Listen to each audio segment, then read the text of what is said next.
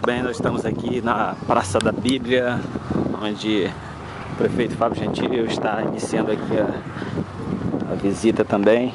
Na verdade, já, já visitou algumas obras, mas está fazendo também a visita aqui à Praça da Bíblia, que já está bem adiantada. Os trabalhos já estão acontecendo, grande parte da obra já está recebendo piso intertravado é uma grande praça que Caxias vai ganhar, depois com vários equipamentos. O prefeito está ali, o secretário, e o secretário Murilo Novaes, e a gente está aqui registrando um pouco do andamento dos trabalhos. Estamos pertinho de meio-dia aqui.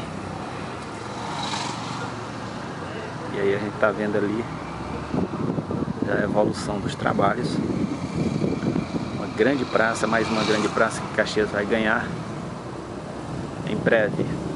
Os trabalhos já estão acontecendo, vai dar uma nova visibilidade, um, um ganho muito grande para estas residências aqui, atrás do Colégio Duque de Caxias. Uma grande, uma grande praça, também feita com recursos próprios do município de Caxias recursos arrecadados dos impostos pagos pela população. Tá vendo aí? Lá no final vai ficar a Bíblia e o palco e outros equipamentos vão ser instalados, como academia ao ar livre, dentre outros. Então, aqui são diversas opções que ainda vão ser implementadas nesta praça. Praça da Bíblia aqui no centro de Caxias.